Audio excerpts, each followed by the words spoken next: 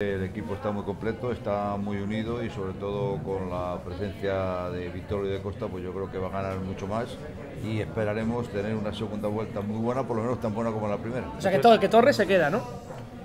Pues ya te he dicho que eso depende de él y de los técnicos. Es un jugador fantástico, un jugador maravilloso y no soy yo el que decide si se queda o no se queda, son los técnicos los que tienen que decidir. Por cierto, hablábamos de Vitolo, eh, no sé si buena oportunidad esta visita para bueno, limar un poco asperezas ¿no? con los dirigentes del Sevilla o cómo están las relaciones después de aquello.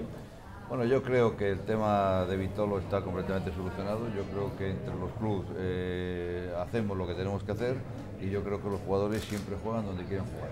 Aseguran en Barcelona que Griezmann el año que viene se va para allá. Bueno, pues si lo aseguran en Barcelona, pues pregúntaselo a ellos.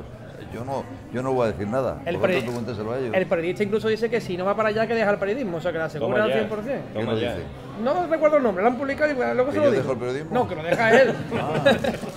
Presidente le consta Pues no lo sé, la verdad que no lo sé, pues pregúnteselo a ellos. Si son ellos los que dicen estas cosas, pregúnteselo a ellos. Un Atlético de Madrid que se ha olvidado de perder fuera de casa, ¿no? Está como... Bueno, llevamos un año que no hemos perdido, ¿no? Pero bueno, deja a ver si conseguimos el segundo año también. Le gusta, por cierto, disfruta con el juego, que hay un debate, si, si es bonito el juego del Atlético, si es vistoso. El fútbol está hecho para ganar y nosotros ganamos lo que me gusta.